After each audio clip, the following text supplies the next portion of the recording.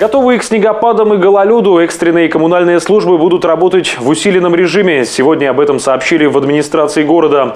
На праздничных каникулах в Кирове снова обещают перепады температур и много снега. Круглосуточном и усиленном режиме будет работать единая диспетчерская служба. Все сообщения будут передавать экстренным службам. Для аварийных служб составлены графики и работы дежурств. Создан э, запас топлива и расходных материалов, сформированы аварийные бригады. В ближайшие дни в Кирове снова обещают перепады температур.